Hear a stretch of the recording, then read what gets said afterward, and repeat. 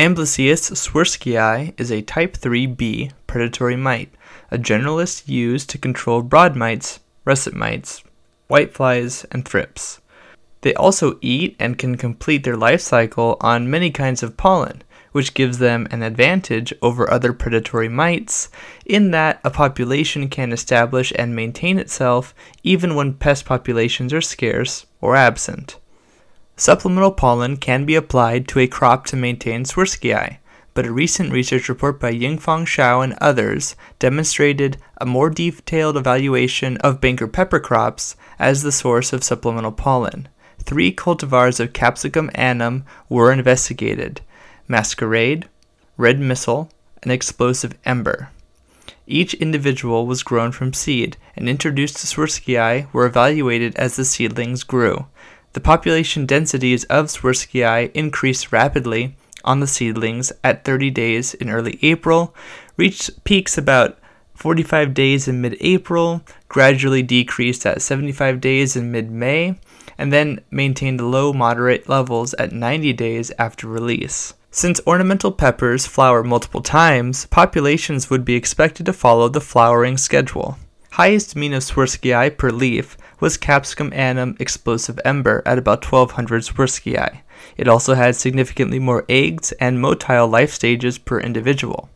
All three cultivars, however, were successful in prophylactic capability. Aside from the source of food, small shelters made from non-glandular trichomes called tuft domatia have been implicated by other researchers as helpful for predatory mites, and these were observed on the pepper plants.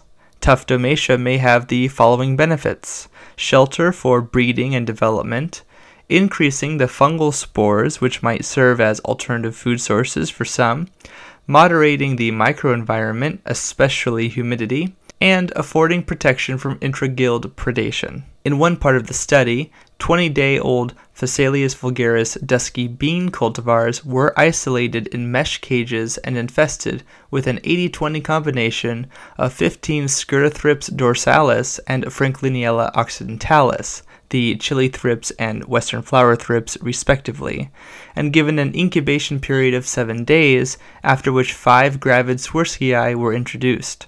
Fourteen days later, the population of control green beans that did not receive the treatment had an average of 235.4 thrips, and those that received the introduction had an average of 23.4, about 95% less.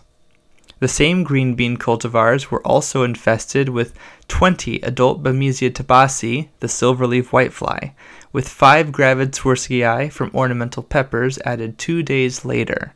Five more were added every day for 14 days, and then pest and predator populations were evaluated. Control plants had an average of 379 motile Bemisia tabaci, while those that received treatment had an average of 2.75 more than 99% less motile whitefly.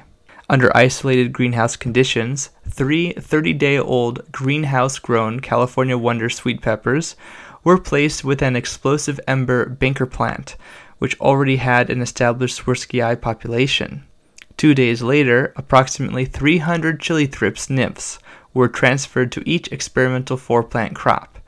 28 days later, control plants were seriously damaged, while treated plants were not.